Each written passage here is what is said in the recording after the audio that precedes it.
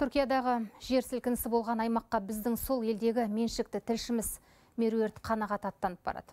Ол провинцияларға барып ақпараттар ататын болады. Естеріңізге салайық, қазір бауырлас елде логистика мәселесі де оңай емес. Меруерт, қазір бізбен Анкарадағы Есенбұға әуежайынан тікелей байланысқа шығуға дайын. Меруерт, соңғы ақпарат қандай? Сіздің ұшағыңыз жетіде ұшу керек болған, кешігіп жатыр ма? Иә, дұрыс айтасыз. Негізгі мен дәл осы уақытта ұшақта Газиантептің жолында болуым керек еді. Дегенмен қазір он аймақта апаттық жағдай болғандықтан осындай кешігулер болып жатыр. Қазір бір екі сағатқа кешіктірілді ұшақ. Оның қашан ұшатыны белгісіз. Ал басқа осы 11 провинцияда ұшақ ұшпайды. Себебі әуежайлардың жолдарының барлығы тоқыраған.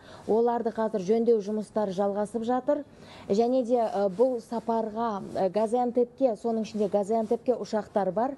Ал газиантептің билетін де алу оңайға соқпайды себебі ашылған бойда адамдар тезірек сатып алып жатыр.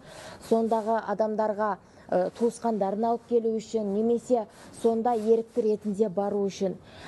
Бізде бүгін газиантепке жетіп алып бірнеше күн сонда боламыз. Содан кейін жанындағы хатай kahraman мараш провинцияларына барып хабар тарататын боламыз. Бізде өзіміздің тек қана түсірілім техникамызды ғана ала қоймай қолымыздан келгенше багаж стандартымызға сай 40 келідей ыстық жылы киімдер нәскилер шұлықтар қалпақтар деген секілді кішігірім өзіміздің көмегімізді алып бара жатырмыз. Осылай.